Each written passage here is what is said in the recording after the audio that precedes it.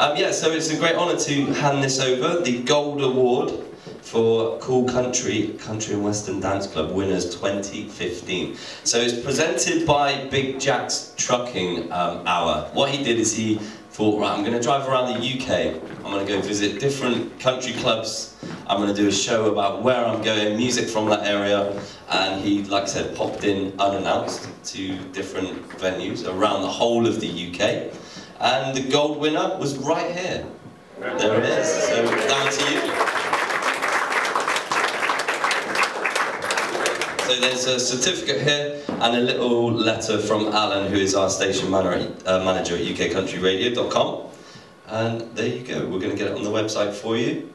And happy for you to announce any gigs or dancing nights that you want, we'll put it on the website there for you. All right? So well done. Yeah, give Carl a round of applause for coming tonight. So thank you very much.